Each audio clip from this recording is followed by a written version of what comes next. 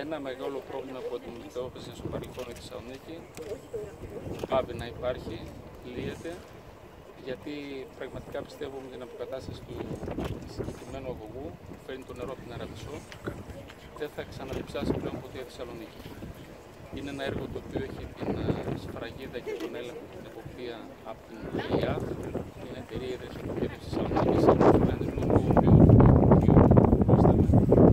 είναι εποπτεύον το Υπουργείο.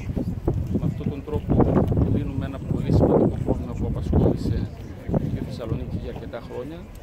Εκτιμούμε ότι έως του χρόνου, μια που έχει ημερομηνία παράδοσης ενός χρόνου, δεν θα, θα ξαναέχουμε πλέον τέτοιο πρόβλημα και δεν θα ξαναδιψάσει ποτέ η πόλη. Και είναι ένα έργο ποιότητας, αναβάθμισης της ζωής των Θεσσαλονικαίων και αυτό είναι κάτι πάρα, πάρα πολύ σημαντικό.